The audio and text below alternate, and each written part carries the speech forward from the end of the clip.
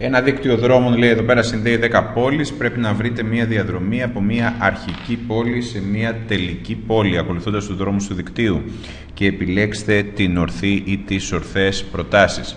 Καταρχάς εδώ πέρα η κύρια εκφώνηση όπως τη διαβάσαμε, αυτό το οποίο μας περιγράφει είναι στην πραγματικότητα ότι έχουμε να κάνουμε με ένα γράφο. Έτσι, έχουμε να κάνουμε με ένα γράφο όπου η κόμβη του γραφήματος είναι 10, έχει επίσης τις ακμές οι οποίες συνδέουν τις πόλεις και έχουμε μια αφετηρία και έχουμε και ένα προορισμό. Δηλαδή έχουμε κλασικά έναν χώρο αναζήτησης πρακτικά, άρα λοιπόν δεν έχουμε ε, κάποια εμπλοκή αναφορικά με το γεγονός ότι μας παραλλάσσει λίγο τα λόγια.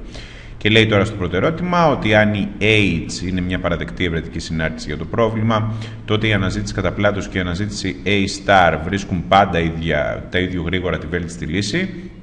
Εδώ πέρα λοιπόν να κάνουμε μια συζήτηση. Κατά πλάτος γνωρίζουμε ότι έχει εκθετική πολυπλοκότητα χρόνου και επίσης για τον A star γνωρίζουμε ότι έχει επίσης εκθετική πολυπλοκότητα χρόνου. Έτσι ε, την ίδια πολυπλοκότητα έχουν όλοι ανεξαιρέτως οι αλγόριθμοι.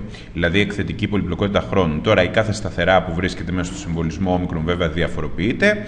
Άρα λοιπόν εδώ πέρα δεν μπορούμε να βγάλουμε κανένα συμπέρασμα για το ποιος είναι πιο γρήγορος ή πιο αργός. Εντάξει; Δεν έχουμε στην πραγματικότητα ιδέα.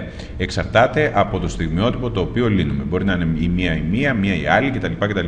Άρα λοιπόν το πρώτο ερώτημα είναι λανθασμένη διατύπωση. Δεν ισχύει αυτό εδώ. Πάμε τώρα στο δεύτερο ερώτημα. Η αναζήτηση A-star είναι βέλτιστη μόνο όταν οι αποστάσεις μεταξύ γειτονικών πόλεων είναι ίσες. Προσοχή, λανθασμένη και αυτή η διατύπωση. Αυτό που γνωρίζουμε για το A-star είναι ότι θα επιστρέψει βέλτιστη λύση, δηλαδή θα είναι βέλτιστη, μόνο αν η ευρετική συνάρτηση είναι παραδεκτή.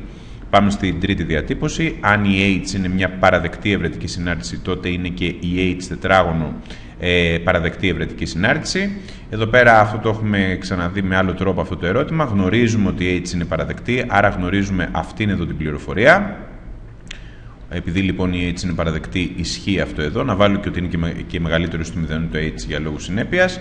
Και αμέσως μετά το ερώτημα το οποίο τίθεται είναι αν το υψώσουμε το H στο τετράγωνο θα είναι και αυτό πάλι παραδεκτό; Δηλαδή το H στο τετράγωνο άραγε είναι πάλι μικρότερο στο H star; Αυτή είναι η ερώτηση που τίθεται. Και εδώ η απάντηση είναι λάθος. Έτσι δεν ισχύει αυτό το πράγμα. Α, και μπορούμε να δώσουμε ένα κατάλληλο αντιπαράδειγμα.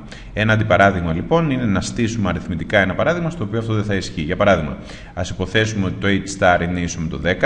Α υποθέσουμε επίσης ότι ο εκτιμητής, η ευρετική συνάρτηση έχει την τιμή 9. Τότε, πηγαίνοντας στη συνάρτηση H στο τετράγωνο, έχουμε το H στο τετράγωνο θα είναι 81, όπου πλέον βεβαίως δεν ισχύει ότι αυτό είναι μικρότερο ίσο από το 10.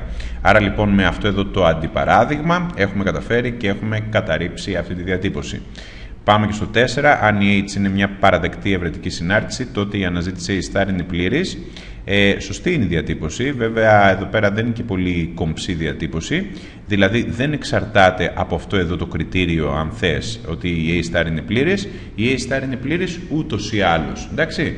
Παρ' όλα αυτά, αν πλεχτούμε λίγο τώρα με το αν τότε, αν ισχύει ότι είναι παραδεκτή η ευρετική συνάρτηση, ναι, βεβαίως η A star είναι πλήρης, η οποία είναι ούτως ή άλλως. Οπότε με αυτόν τον συλλογισμό το ερώτημα είναι σωστό.